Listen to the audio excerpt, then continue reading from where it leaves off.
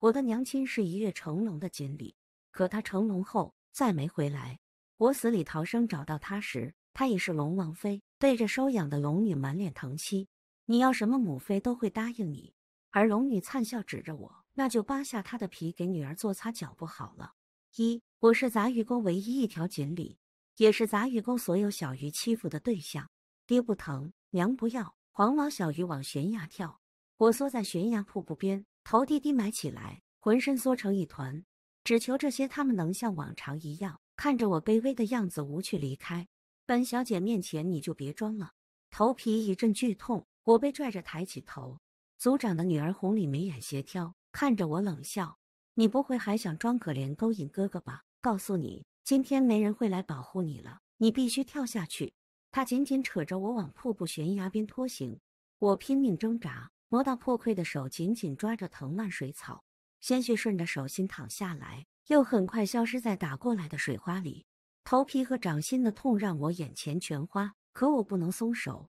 三十天后，龙门大开，龙族会选一条小鱼送去跃龙门，越过就能成龙，脱离凡鱼身，成仙成神，能上天界，能入龙族。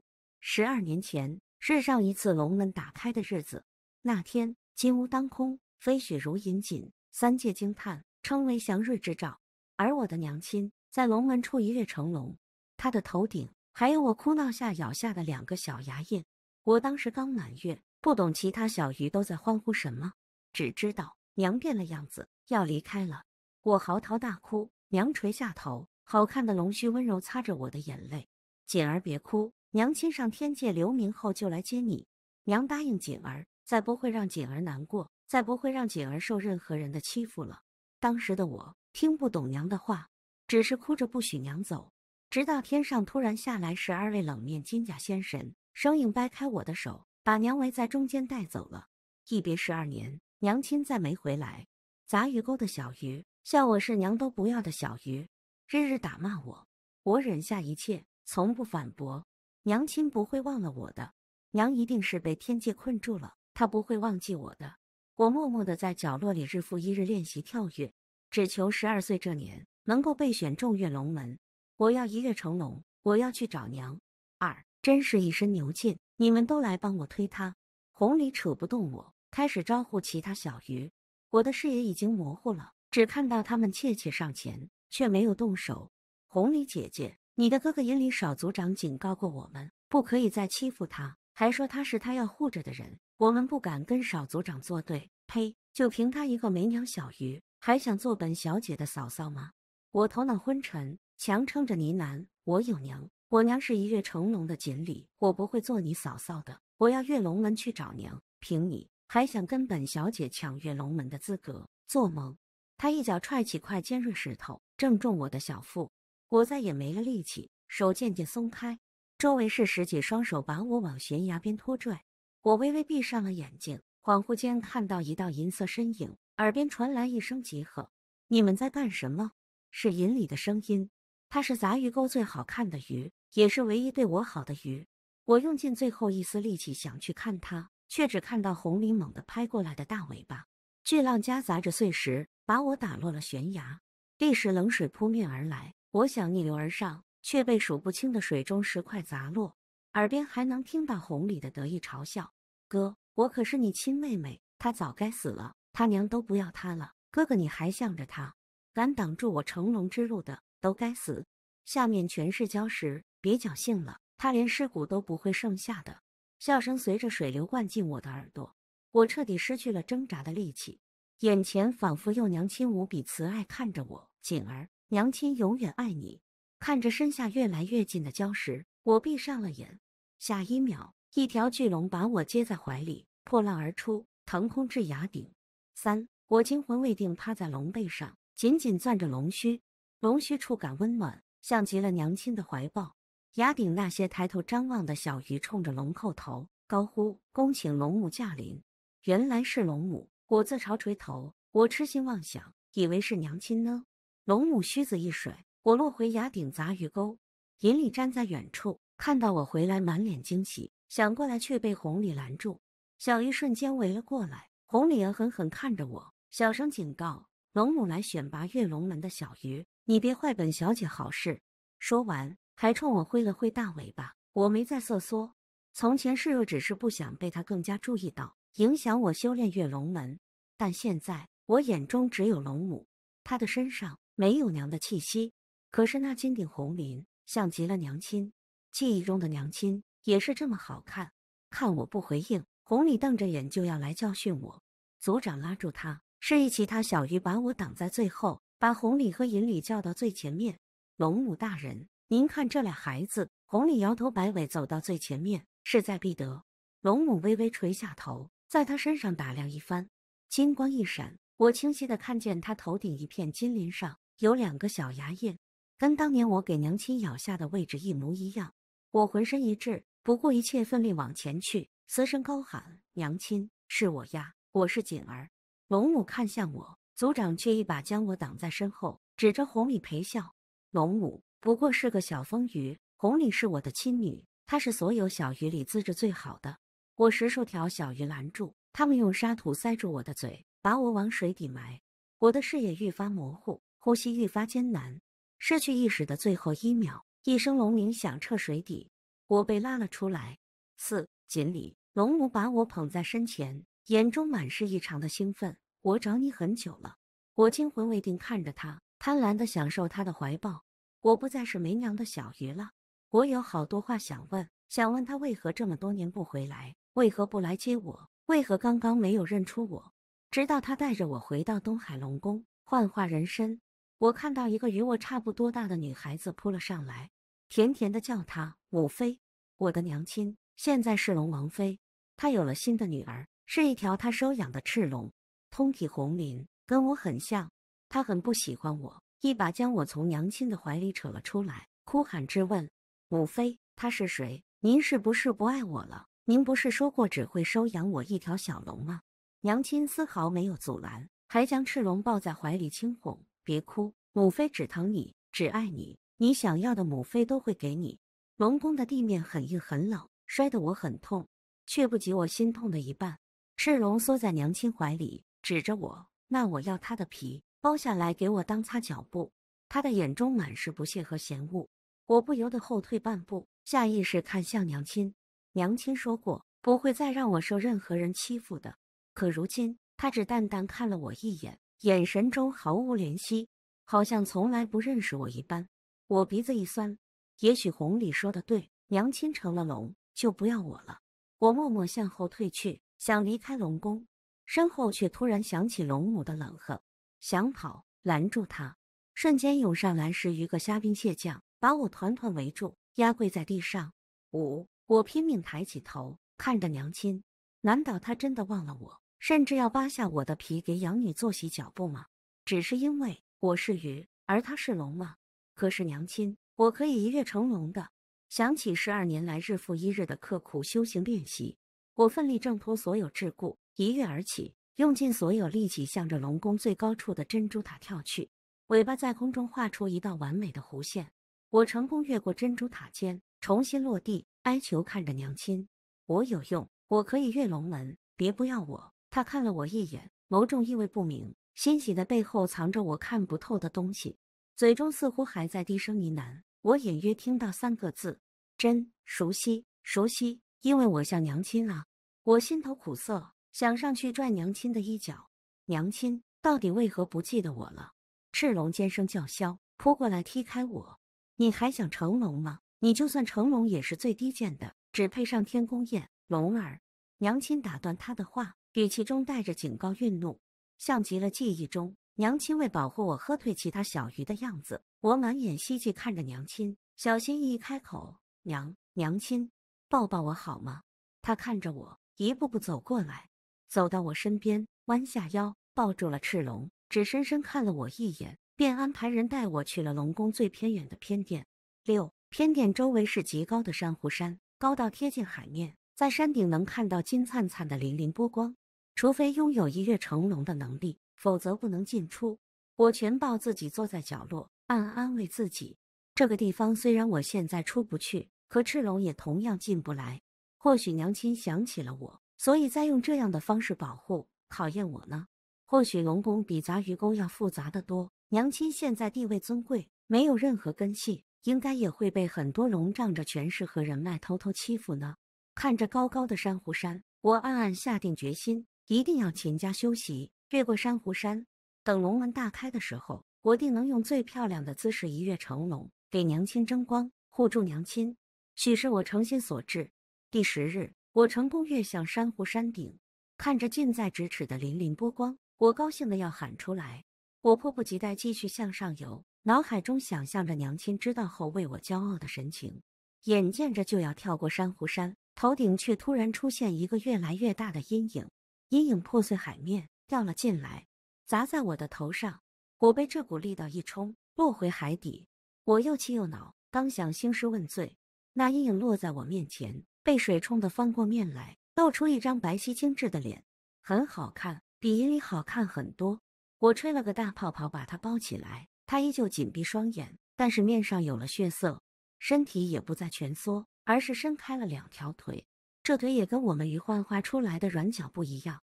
我忍不住伸手戳了戳，很结实，很有弹性。我又换了个地方戳了戳，戳中一块微微凸起的地方，比别处都硬。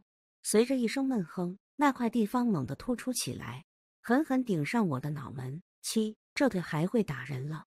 我捂着头后退两步，却见那人已经睁开了眼睛，一双湿漉漉的眸子迷茫戒备看着我。你是赵家的人？我想了一下，摇摇头，于是没有姓的。他松了口气，冲我笑起来。多谢姑娘相救，这是有生以来除了娘之外第一次有人对我笑得如此温柔。我也笑了起来，耳边突然响起来咕噜咕噜的声音。他不好意思捂住肚子。果了然，走到水边，略施小法，捞起一把水草递给他，他却面色惊愕。姑娘住在岛上，平时就吃这个。我连忙摇头，不是的，这个很好吃，我也不常吃的。这水草甜脆可口，只是零食，填饱肚子还是不行的。他的眼神却漫上满满的心疼。等我回去解决了赵家人，接你离开，带你吃最好吃的驴肉火烧。驴肉火烧，我都没听说过。他继续道：“肯定比水草好吃多了。正所谓天上龙肉，地下驴肉。你吃龙肉，我心头一颤，猛地跳起来。他诧异：天人才能吃上龙肉，我们凡人只能吃驴肉。我生了火气。他把龙说的像是天神圈养的猪，龙也是仙神，怎么可能是吃食？他好笑着我，耐心解释：龙族也分三六九等，传闻中除了天生神龙、锦鲤跃龙门的锦龙，还有一种邪龙。”镇压在东海之末，就是专供天界吃的。这话我倒是听过。可镇压东海之末的是恶蛟。我反驳道：“那是恶蛟，不算龙。真龙只有天生龙族和锦鲤跃龙门的锦龙。”他不置可否，看向海平面，悠悠叹气：“锦龙又有何不同？就像我，虽然科举高中，可无甚根基，还不是要被皇亲国戚顶替了官位，把我流放到此当替死鬼？”不然，这附近怎会有那十几年前锦龙坠天被天人带走开眼的传说呢？八，一股莫名烦闷像座大山一样压在了我心头上。我看向海边那座山，十二年前娘亲就是在那里离开的。当日很多仙人围着他，那段记忆在我脑海中一直有些模糊，似乎当日每个人的表情都看不出喜悦尊敬。我拼命回想那段记忆的最后画面，是娘亲化作天边的一抹残红。直直坠落，就像现在这样。远处的太阳下山，一抹残红隐没在山间，山头一丝黑雾，像是什么东西被埋在那里，等着故人祭拜。一声钟鸣骤然响起，我心头骤然震颤，一股寒意从心头蔓延全身。海风呼啸四起，海面翻起滔天巨浪，远远传来一声嘶吼龙鸣。剑鱼，你终于出来了！是赤龙。我暗叫不好，一巴掌打晕玉尘。跟着他三两步跑到小岛另一侧，冲着不远处的渔船扔了过去。转身要跳回珊瑚山时，赤龙已经杀到我眼前，红光一闪，我头顶一阵剧痛。赤龙三根手指化为利爪，尖锐的指甲刺中我的头顶，活生生掀翻三片金鳞。剑鱼，凭你还想成龙？扒了你的皮，看你怎么痴心妄想！头顶止不住的血迷糊了我的眼，我看着自己还没他一个爪子长的尾巴。强忍剧痛，扭头就往回跑。刚钻进水里，跑到珊瑚山边上，一股强大的力量重重打在我的后背，狠狠把我的头推撞在珊瑚山的一角。我猛地喷出一口鲜血，染红了珊瑚山。我微微闭上了眼睛，恍惚间看到珊瑚山似乎散发出一缕一缕的金光，像萤火虫一样飞向我的头顶。还有一股奇异的力量从我的头顶源源不断流淌全身。赤龙居高临下睨着我，满眼不屑：“剑鱼，不自量力！放心。”我会留下你完整的皮，做本公主的擦脚布。说完，他张狂大笑，冲我头顶抓来。我无力抵抗，却见珊瑚山中猛地乍现金光，一道屏障横在我和赤龙之间。他却好像看不见这道屏障，爪子直直抓来。屏障迸发出火一般灼热的光，靠近周围的水草瞬间融化。下一秒，赤龙的爪子就要触碰到屏障。一声龙鸣突然响彻东海，住手！龙母嘶鸣着疾驰而来，将赤龙推开三尺远。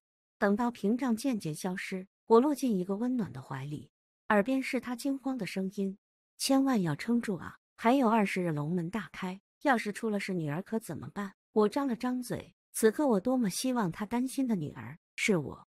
我被抱回龙宫，龙母亲自放出龙血为药引，为我疗伤。断裂的骨头很快不再疼痛，甚至能感受到缓缓的生长。可我被掀翻的三片金鳞，却无论如何都无法修复。赤龙不服气，站在一边，满腔怨毒。不过是条剑鱼，娘亲，你干嘛要护着它？长得像我也就算了，干嘛还要帮他跃龙门？龙母紧紧抱着我，哭得我本就受伤的骨头更疼了，好似生怕我跑掉了。他摸了摸我的脉，略松一口气，冷冷回应：“你最好祈祷他能恢复如初，一跃成龙，不然死的就是你。我身体不能动。”可听得却清清楚楚，龙母的话让我心中的疑团越来越大。赤龙还要开口，外面突然传来通报，是天界的天妃驾临。龙母靠近看了看我，在我耳边轻声叫我两声，确认我毫无反应后，她把我抱进龙宫里院，又拉了一道屏风，才开口：“请进你。”我装作昏睡不醒，可身体却被那异样金光缠绕，好似重塑精髓，竟能清晰听到天妃的声音。十二年了，上次那个吃的就剩半口气，身上砍掉的也长不出来了。一个月内务必得进献新的。为了我们的族人，祖祖辈辈换皮洗血，舍弃了自己的皮囊。如今千年大计就差最后一步，若在出事端，锦龙不现世，又得再等十余年。我们等的天界可等不得。妹妹也别怪我狠心，若你狠不下心，皮相不一样再出差错，只能把你的宝贝女儿送去天宫宴了。十。龙母唯唯诺诺应了声，而我的心里已经翻起惊涛骇浪。换皮洗血，千年大计我听不懂。可十二年前，我的娘亲一跃成龙，去了天界，一去不回。我浑身发冷，恨不得现在就冲上天去看个究竟。禁锢我的金光也在这一刻汇聚成一团，凝结在我眉心。我浑身一松，撑着床沿踉跄爬了起来。外面天妃已经离开了。龙母听到声音，连忙走了进来。你感觉怎么样？恢复的可好？那张与娘亲一模一样的脸，喜不自胜的笑着。可我再无法在这笑中找到一丝一毫的慈爱。我的心头绷了三根弦，线上挂着黑纱，遮着一个唱了半场的戏台子。见我不言，龙母笑着坐在我身边，试探开口：“你之前一直叫我娘亲，是娘亲为避嫌才没有回应你。你可不要闹了脾气，不肯留下了。”我定定看着他，一字一句道：“我会留下的，我还要跃龙门呢，我怎么会不肯留下呢？我娘亲的皮囊就在这里呢。”龙母松了口气，拍了拍我的手：“那便最好了。等你一跃成龙，我就送你去天界。天界可是好地方。”我脑海中又想起刚刚天妃的话：“皮相不一样，再出差错，只能把你的宝贝女儿送去天宫宴了。”我握住龙母的手，垂头渲然欲泣，只可惜我掉了三个鳞片。成龙后肯定没有赤龙姐姐好看。我挤出哭腔，别光瞥见龙母面色僵住，侧过身看着屏风外的赤龙，唇角微微颤抖。我紧紧盯着他的动作，心头那三根弦绷得越来越紧，一字一句继续道：“天界仙神定然都见过赤龙姐姐的美貌，若日后我上了天界，不会被嫌弃打回来吧？绝不允许！”龙母疼得站起身，声音艰涩：“赤龙不懂事，伤了你娘亲。”这就为你主持公道。他大跨步走了出去，好像生怕慢一步就会反悔。我的视力好像变好了，透过屏风我清晰看见他走到赤龙身边，在赤龙不解的目光中，不忍的闭上了眼。紧接着，他衣袖挥起，三根手指化为利爪，猛地插进赤龙的头顶，在与我受伤相同的地方，掀翻了三个鳞片，鲜血四溅。赤龙的哀嚎瞬间响起，他拼命挣脱龙母的束缚，捂着头满的乱滚，嘴里止不住的咒骂：“剑鱼啊，娘亲，你居然为了剑鱼要杀女儿吗？我的头啊！你不配为我娘！你把我从东海之末接出来时说过会护我一辈子的东海之末。”我心头一动，三根弦骤然崩断一根。十一，龙母狠狠扇了赤龙一巴掌，颤抖着堵住了他的嘴，命人把他带了下去。他擦去泪光。脚步沉重走回来，坐在我身边，颤抖着把我揽在怀里，眼睛却看着赤龙离开的方向，一字一句说道：“娘亲做这一切都是为了女儿你，你可千万不要辜负娘亲的心意。”我佯装感动，依偎在他怀里，手揽住他的腰，趁他毫无防备，从他腰间扯下了龙宫令牌。我要离开龙宫，去海边那座传闻中坠龙的山看一看。龙母在我装母女情伸指撑住了一炷香。便找借口匆匆离开。他消失的方向与赤龙离开的方向相同，他的背影与我记忆中娘亲离开的背影渐渐重合。我攥紧手中的令牌，努力压住鼻尖酸涩。现在还不是难过的时候，娘亲还在等我，等我找到真相，找到他。龙母走了，龙宫里所有虾兵蟹将都争先恐后赶去了赤龙的房间，生怕跑慢了两步，不能在赤龙面前邀功。确认他们都走了，我站起身走了出去。他们以为我是重伤未愈，难以行走，可他们看不到那些金光，就好像等待我上千年的抚慰，早已将我内里所有创伤修复。我一路畅通出了龙宫，按照那日那人所指的方向上了岸。岸上很乱，好多人都在四处跑，还有拿着刀剑、穿着盔甲的在四处搜寻，目光看向我。四柄长剑瞬间架在我的脖子上。四个人贪婪看着我，渔村还有这等美人，带走，犒劳犒劳兄弟们。说着，他们推搡着我往一侧走。看着离那处大山越来越远，我急了。可天道不允在人间施展法术，我只得一个扭身，贴的滑出四人之间，冲着那处高山跑去。身后是气急败坏的骂声，紧接着几支箭擦破着我的耳朵，嗖嗖飞来。我左右躲闪，幻化出来的脚终归不善跑步。脚下石头一晃，整个身体控制不住向前摔去，腰猛地一紧，身子腾空而起。熟悉的声音响在我耳边：“姑娘小心！”我抬起头，居然是玉晨。他目光灼灼，头戴银冠，身披软甲，骑在高头大马上，违背军令，各自回去领罚二十军棍。方才还追我的四人扑通跪地，扔刀磕头，嘴里不住说着“主帅饶命”。玉晨抬手撩起披风，把我抱在怀里。驾马带我进了主城，龙宫一日，地上三月。你变了好多，居然还记得我。我道，玉晨耳根微微泛红，救命之恩还未曾报，怎会忘？他话语突然止住，他话语突然止住，又继续开口讲着这段时间的事。我才知道，因为暴君昏庸，他和很多人一起报仇反叛，已经割据一方，被百姓推举为王了。从前总以为天子秉公，但既然皇权不公。就该有新的公道出来。玉晨眉眼淡淡，递给我一杯暖茶。我坐在软垫上，难得放松，接过茶，仔细思忖他这句话。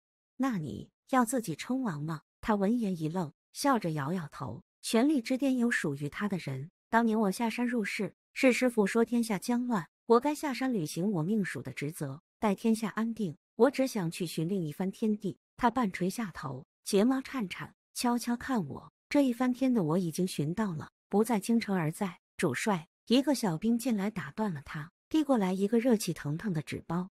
他进了声，打开纸包，宠溺笑着递给我：“答应你的，明日火烧。”鼻尖香气四溢，我心头的弦再次绷紧。我站起身，收敛了所有对温柔的留恋。玉晨，我想去那座传闻中坠龙的山看一看。十二，他没有多问，亲自驾马带我去了那里。按照村子里老人的说法，我们绕过三处沼泽，走过一片荆棘地，在山脉中央停了下来。四周都是高耸山峰，唯有面前这一处奇怪的走向塌陷，好像被砸断坍塌一般。我慢慢走进去，走到凹陷正中央时，脚下突然踩中了一块白润如玉的石头，一股力量从地下而起，涌入我的身体，直直顶进头顶。紧接着，周围开始破碎重塑，所有景色都开始天翻地覆的变化，四周都是浓浓的烟尘。烟尘散开，面前出现了娘亲，是十二年前的娘亲。我鼻子一酸，眼泪扑簌簌滚落。娘亲却好像看不到我一般，向着与我相反的方向跑。他脚步虚浮，浑身是伤，没跑两步便倒在了地上。我踉跄冲过去，手臂却穿过了娘亲。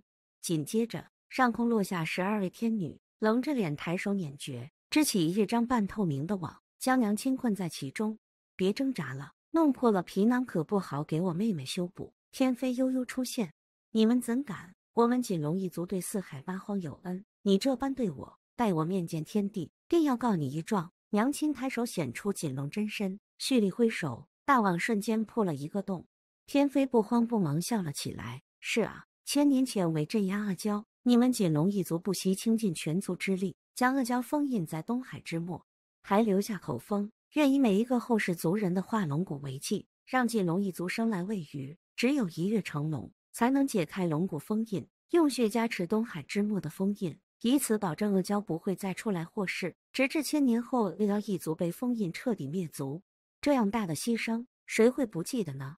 只可惜那些天人贪吃阿胶助长修为，千年之期一到，阿胶一族没了。天界那些面慈心黑的假人假义之辈，没有了可助长修为的阿胶来吃，会吃什么呢？四海龙族肯定不行，那便只有根基不稳、无人保护的龙了。你逃走自然可以，别忘了你的女儿。他还是一条小鱼，到时候谁来护住他呢？随着他的话，娘亲渐渐松了手，我泪流满面，一次又一次想拉住娘亲，可手永远无法触碰到娘亲分毫。天飞笑得肆意，狂笑间发出两声刺耳的嘶哑龙鸣，更像我在珊瑚山时偶尔听到的阿胶嘶鸣。走吧，你乖乖替我妹妹上天宫宴，我会让你多苟活几年，争取在你被吃光之前再见你女儿一面。烟尘散开，娘亲被他们带走了。四周景物缓缓恢复如初。我的泪水落在地上，那块白玉石头猛地碎裂，外皮扑破碎落下，露出一块龙骨。我捡起来，眼前再次看到了娘亲，是娘亲的一缕分魂。锦儿，别来找娘，娘亲只希望你平安快乐就够了。若你没有成龙，便找一处你喜欢的地方，找一个你喜欢的另一半，安稳过完一生。若你成了龙，不要给娘报仇，去菩提祖师那里修行吧。那里与四海八荒无争，可以护住你，也是护住我们锦龙一族最后的血脉。我痛哭流涕，捧着骨头哭到失声，心中地儿根弦彻底崩断了。十三，我不明白为何天道如此不公，我好恨。我想冲回龙宫复仇，可是我一动念，手中的龙骨就会发出丝丝缕缕的白光，将我团团包围，阻止我的脚步。我奋力挣扎。却在悲痛和耗费精神昏了过去。醒来的时候，身边是玉晨。我摸着娘亲的那块白玉龙骨，我知道，只要这骨头不灭，娘亲的一口气也不会消失。毕竟在龙宫中时，天妃也对龙母说过，天界那条龙还剩一口气。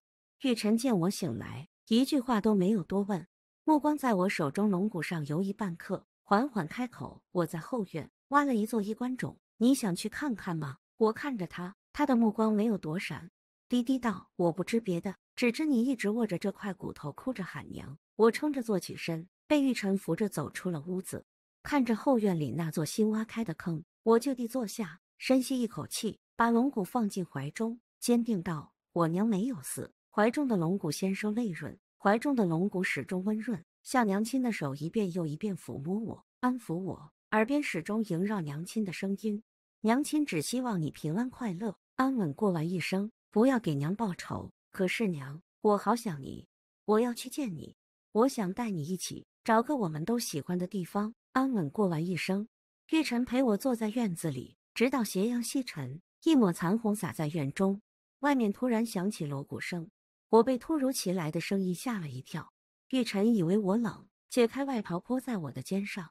见我看着外面，他轻声解释：“是戏，今夜有一出戏。”玉晨陪我走了过去，那边的人一见玉晨，忙不迭在最好的位置摆了两张太师椅，让我们坐下。一个可爱的小孩子好奇地看着我，递给我一个糖人。漂亮姐姐怎么哭了？给你糖。奶奶说吃糖就不哭了。一位老奶奶连忙过来抱走了他。我拿着糖人放进了嘴里，甜夫充斥口腔，压住了黄尘的酸涩；甜味充斥口腔，压住了鼻尖的酸涩。这出戏唱的是英雄救美，台子上的美人说英雄是救命恩人，报恩要以身相许。可英雄末路，美人持刀自刎，鲜血洒了整个戏台子。我吓得站起身，杀人了！玉晨忙拉住我，轻轻捂住我的嘴，是戏法罢了。不信你看，他下台好好的，我循声看去，才看清那美人脖子上贴了个可装血的人皮。我松了口气，坐了回去。台上戏文还在唱着“救命之恩，以身相还”。叶晨小心翼翼握住了我的指尖，你的救命之恩，我也未曾报答。我看向他，他的耳根又红了，低低道：“如今京城起义大军已经赢了，赵家人都死了，我会在近日上京交出兵权，今后找个山清水秀的地方待着。”不知道你接下来想去的地方会不会顺路？怀中龙骨又开始微微发热。我想起了娘亲的话，找一个你喜欢的另一半。十四，我刚想开口，突然一阵狂风呼啸而至，戏台子登时被掀翻，周围瞬间响起百姓哀嚎。我回过头，只见海面高如一堵墙，倒向村子。海水中，无数房屋瞬间坍塌，所有人都惊慌失措。玉晨把我推到最高处的房顶。深深看了我一眼，等我回来接你。说完，他纵马回到了洪水中。一切来得太快，我缓过神来看向身后，一个浪打来，那个举着糖人的小孩瞬间淹没在水中，残破的糖人飘在水面，很快也不见了踪影。而玉晨站在洪水中，稳住身下一块宽大的木板，不断拉着百姓爬上去保命。他像一张拼命撑起的帆，想带着他守护的人逃命。我攥紧龙骨。心头所有的悲伤好似瞬间消失，保护不了对我好的人，我没有资格再自顾难过。我从未这般冷静，再不顾及所谓禁法术的天道。我心头最后一根弦应声断裂，那片黑纱落下，戏台子已经搭好，我不会再退。我蓄力掐诀，以法凝结界，撑在他们的上空，缓缓扩大，包成一圈。一个巨大的海浪猛地打来，我的结界瞬间破碎，所有人都被卷进水里。消失不见，龙母站在浪尖，缓缓走了出来，看着我笑：“你真不乖，私自逃出龙宫，让娘亲找了你好久。我被带回了龙宫。”龙母坐在高位，似笑非笑看着我：“你想去哪里？想离开龙宫，不想成龙了吗？”我冷静应对，装出乖巧的样子：“是女儿贪玩，让您担心了。那些凡人无辜，还请您放了他们。”龙母笑着扶起我，眉眼满是警告。不过是些凡人罢了。你若想救，那就乖乖听话。成龙后，我自会允许你去归墟寻出他们的魂魄，送去黄泉。他的手搭在我的胳膊上，三根手指紧紧捏着我的肉，另外两根手指像装饰一样搭着。从前我以为他和赤龙都是伤了两指，现在我明白了，那不是受伤，而是假指，因为他们不是龙，是三爪阿胶。不止他们，还有那个颠飞，都是阿胶。他们筹谋千年，只为重新获释。我倒想看看，他们真的出来了，天界道士会如何？十五，我又被关进了珊瑚山。龙母用法术在我身上下了禁制，困住了我的元神魂魄。凭我的力量，再也无法逃脱，只能在这里等着龙门大开，被送去活寡，就像凡间圈养的猪。我慢慢摸索，找到珊瑚山上那个我撞破头的地方。我割破手指抹上鲜血。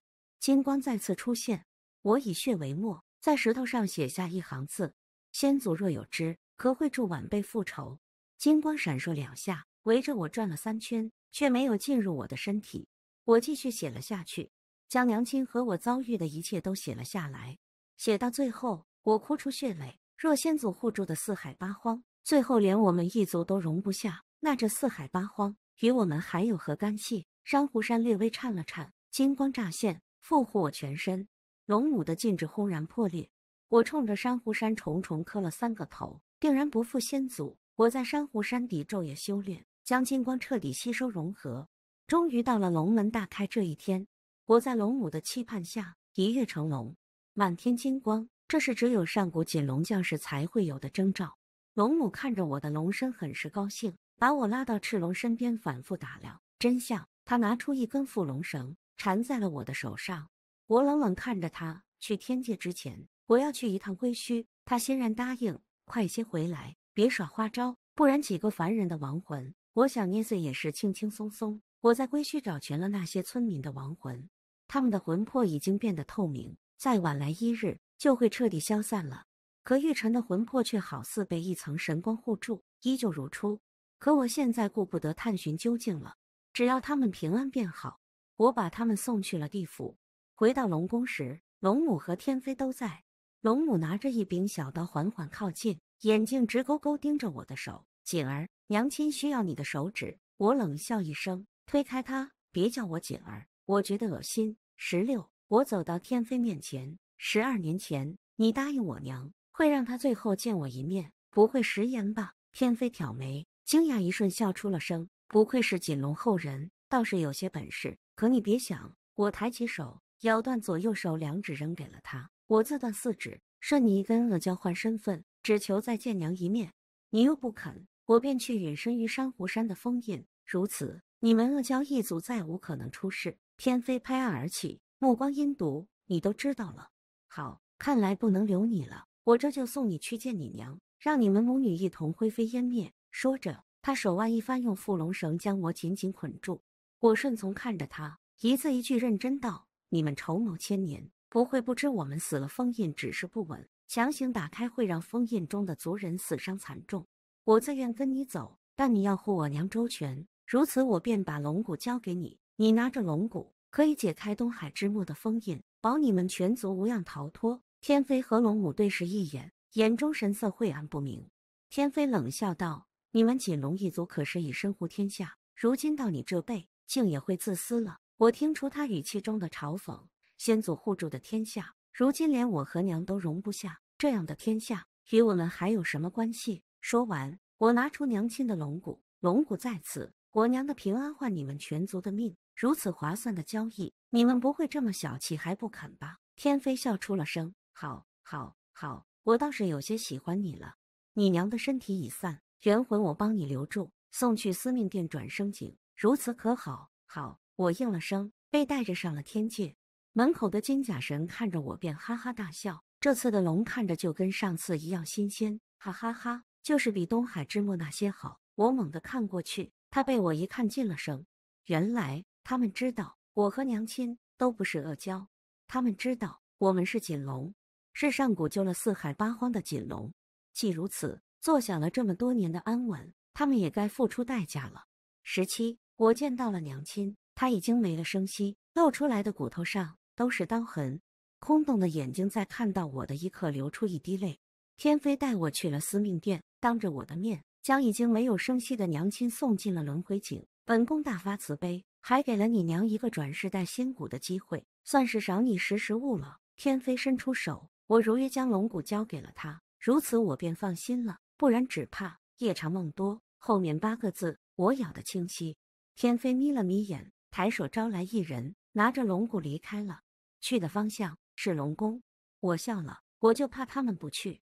夜长梦多，我是特地提醒他的，我只怕他们不早点闹起来，打上天界。天界正殿十分热闹，我被关进笼子，摆在站在大殿内。天帝身边的金甲天神走过来，从笼子边伸进一把尖刀，在我身上四处打量着，要剔下哪块肉。突然一阵地动山摇。龙宫方位传来一声轰鸣，两个小仙惊慌失措跑进来。天帝，不好了！东海之墓的封印破了，恶蛟显示了，大殿瞬间死寂。紧接着，所有仙神都乱了套，仓皇逃窜，嘴里不住说着：“千年大劫又到了。”天帝强作镇定，拍了拍桌子，指着我：“别慌，这不是还有救吗？”我对上他的目光，笑得灿烂。是呀，锦龙现身，可补封印。我猛地夺下金甲天神手中的尖刀，在所有人的注视下横在了脖子上，回身一划，鲜血四溅。我睁大了眼，笑着倒在了地上。十八，天界彻底乱了，龙母带着恶蛟杀了上来，天兵天将抵挡不住，死伤惨重。天帝仓皇带着天妃就要跑，天妃却也显露了真身，是一条巨大的恶蛟。我躺在中央的笼子里，亲眼看着那些方才还叫嚣要吃多少龙肉的仙神。悉数倒在阿胶爪下，血弥漫喷洒成了血雾，在阿胶的黑气中缠绕。天帝高喊：“天道，天道难道真让阿胶要灭我天界吗？可是要灭天界的不是阿胶，是他自己。千年前，先祖在这样的浩劫中挺身而出，救下三界。可我们锦龙一族的下场却比阿胶还惨。阿胶尚存几十族人，锦龙一族只剩了我。我们锦龙一族不暇自哀，别族却皆有目共睹，偷偷叹息。如今浩劫在至，他们若哀之而不见之，只怕是重走我们的老路。还有谁肯挺身而出呢？死的仙神越来越多，他们在哀嚎中后悔，拼力抵抗，拖着残躯从笼子中抱出我的身体逃走，一路逃到天海中央的神岛。在这里，他们下了决心，务必倾尽力气复活锦龙，让他以身献祭，封印阿胶，救我。为了让我替他们去死，可是凭什么呢？任凭他们用尽办法将神力灌注我身，我也纹丝不动。他们没了法子。开始互相指责，可他们不知道，灌注神力是叫不醒一个装死的龙的。被逼无奈，太白金星突然拎起金甲天神，扔进了炼丹炉。为今之计，唯有以仙神之力炼出九转海神丹，为他吃下了。金甲天神在炼丹炉中发出咒骂，其他天神却只犹豫了半分，便开始灌注神力，凝结烈火，炙烤炼丹炉。看啊，这便是天神，他们真的不配久居高台。看着他们耗尽神力，我显露了锦龙真身。我的身上还有着先祖残存的金光神力。在他们惊异的目光中，我笑得灿然，挥了挥手，掀开炼丹炉的盖子，把除了太白金星之外的所有仙神都扔了进去。接着，炼丹炉被烈火包裹。我居高临下看着太白金星，单手捏碎炼丹炉，取出这十余个仙神炼成的神丹。太白爷爷，你说他们吃过我娘？如今再炼化成丹被我娘吃下，算不算两清？太白金星咽了咽口水，下意识后退半步。我把丹药放进怀里。太白爷爷，我在你的身上没有闻到龙肉的味道，姑且饶你一命。阿胶或是若天神肯与他们同归于尽，应该还是可以控制的吧？我笑着拎起太白金星，带着他回到了天界大殿。太白爷爷，快劝劝你的同修，舍身救天下呀！太白金星跌落在地。在我的注视下，颤抖着跪下。浩劫已至，唯有同归于尽，才能救天下啊！所有仙神都惊异看着我，却没有一个肯上前与阿胶同归于尽。太白金星闭紧双眼，猛地起身冲向看着我的天妃，在抱住他的一瞬，爆体自尽。而他自尽散开的修为如平地惊雷，竟将在场除龙母外的阿胶都悉数震倒。仙神缓过神，一个一个把那些阿胶补刀杀尽。却没有一人上前为太白收取散落神魂，甚至还有一个仙神在杀掉一只阿胶后，偷偷切下一片肉放进了嘴里。十九，阿胶只幸存了龙母和赤龙，不应该叫蛟母和赤蛟了。他们狠狠盯着我，反手挟持了天地，乖乖束手就擒，不然我杀了天地。我笑了笑出了声，好啊，杀了他，我还要谢谢你们呢。天帝哀求的看着我。却在听完我的话后面色灰白。我若一死，天下必乱。你不要这四海八荒了吗？罔顾你先祖的牺牲吗？又是这一套。我挠挠耳朵，魂不在意看着他。可这要灭了我全族的天下，与我有何关系呢？不如天帝您自己献祭灭了阿胶，我来替你守三界，如何？天帝噤了声，闭紧双眼。是我错了，我愿意付出代价，只希望你能允诺守好三界。说完。他抬手掐诀，捏碎元魂，决定自毁献祭。看着他元魂散碎，我落在他的面前，推开已经浑身无力的他，拎起蛟母和赤蛟。天帝倒在地上，有些希冀看着我。我只淡淡瞥了他一眼：“你死可以，他们两个可不能死得这么容易。”二十，我解决了残局，仙神死伤大半，活下来的那些，但凡吃过我的娘亲，都被我抽离元魂，扔进了畜生道。最后。只剩下一小半仙神留了下来。我把文木高高吊起，捆绑在天宫正中央，正下方放了一个笼子，里面关着赤蛟。在他们的咒骂声中，我一刀砍下蛟母的肉，血流如注，悉数落在赤蛟身上。我用刀尖挑起肉，喂到赤蛟嘴边：“饿了吧？来吃肉。”我禁锢了蛟母的挣扎。赤蛟抓着笼子嘶吼咒骂，看着我的眼神好像要吃了我。我把肉扔进了笼子，转身离开。吩咐仙神看着他，除了这块肉，什么都不许给他吃。我把苟延残喘的天地带去了东海之末，这里还封印着一些残存的恶胶。天帝这么爱你的天下，就留在这里亲自镇守吧。天帝长长叹了口气，走进了封印。我不配为天帝，是我自私，逼迫神君下世历劫多年不归。待神君历劫归来，希望你替我跟他请罪，把天帝之位交还给他吧。他把那块掌管三界的印鉴交给了我，我不置可否，抬手关闭了封印缝隙。我又去了趟西海，西海降生了一只小龙，是我娘亲的转世。那天妃总算还是做了件好事，娘亲如今是西海龙王的小女儿。西海看到我来，恭敬迎接。我没有多说什么，只是把那颗仙神炼化的丹药喂给了小龙。她前世是我的娘亲，如今只是西海的小公主了。我只希望她这一世幸福。二十一，做完这一切，我回到了天宫。一别三日，天宫也在仙神的整修下恢复如常。每个人看到我都很尊敬。他们也许有的人在骂我，可又能骂我什么呢？骂我见死不救。但可他们每一个活下来的，不都是在恶蛟大乱中只求自保的吗？我走到正殿，蛟母还在顶上吊着，赤脚也在笼子里乖乖待着。恶蛟一族贪婪好食，一日不吃便如万蚁穿心。三日过去，赤脚已经浑身憔悴。他见到我，目光闪躲一瞬，又开始了疯狂咒骂。我走到他面前。才看见笼子里那块肉不见了，他的嘴角却多了一条肉丝。我笑了，再次从焦母身上割下一块肉，鲜血喷涌落下，淹没了他的咒骂。他露出了尖牙，大张着嘴，目光迷离，大口大口喝着焦母的血，甚至直立了身子，不自觉伸出手去够焦母的身子。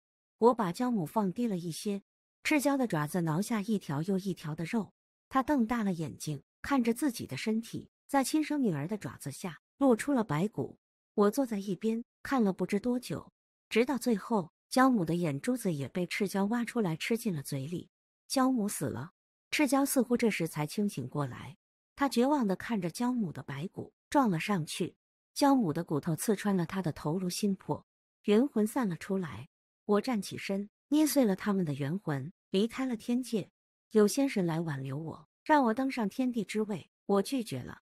有人说过，权力之巅有属于他的人。二十二，我称天地一命，要找到神君回来继任。我隐匿了身份，游走三界凡间。我找到了当初那个村子村民的转世，而那个爱吃糖人的小孩，这一世开了个蜜饯铺，再也不缺糖吃了。我走了很多年，可是始终没有找神君转世。更重要的是，没找到玉晨。在一场大雪中，那个爱吃糖人的小孩，这一世也走完了。我莫名想陪他走一趟下界，一路进了黄泉路，过了奈何桥，百里彼岸花海中，五百里花海中央，直立着一个人影，长衫玉立。见到我来，他身形一晃：“姑娘，好久不见。”番外，玉晨说，他似乎从来都不知道我的名字，他怕忘了我，所以不肯喝孟婆汤转世，只想等我。我笑说他傻，他说他不是傻，只是知道自己无力保护我，无能找到我。只能用最笨的方法等我。我告诉他，如今的我不会再被任何人欺负了，以后可以自保，不需要别人在我身边护我周全。他却没有回应，而是生怕我再丢了一般，紧紧抱住了我。我的腰间却猛地乍现一抹霞光，那枚天使给我的印鉴慢慢飘丁起来，落在了玉晨手心。紧接着，霞光包裹住他全身。半晌后，霞光散开，玉晨周身仙气。眉间多了一抹惊鸿神印，他睁开眼，眼中多了很多情绪。唯一不变的是看向我的温柔缱绻。姑娘，不知道神君之位是否有资格在你身边护你周全？